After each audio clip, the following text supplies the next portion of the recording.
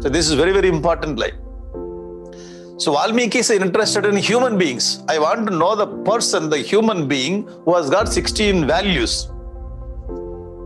Okay, Valmiki never uh, asked, I want to know the Avatara Purusha. No, no, no. Naram, you tell me about the man. And Narada, Narada Maharishi says, Yes, I know the person. so that person name is Rama. This is the Nara. So according to Valmiki, Rama is Naraha, human being. So this point you have to keep in your mind. If you have this point in your mind, you will not have any doubt throughout the text.